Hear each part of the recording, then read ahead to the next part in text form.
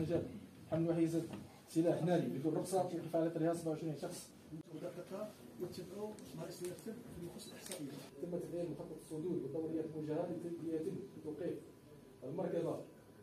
روموسانجول عرفت حاصلة نشاط وحدات الجمعية الإقليمية الوطني بجلفة خلال سنة 2020 تنوع في معالجة الإجرام بشقيه العام والمنظم حيث تم التسجيل في قضايا الإجرام العام لسنة 2020 مقارنة بالسنة 2019 ارتفاع في عدد الجنايات بنسبة 7.69%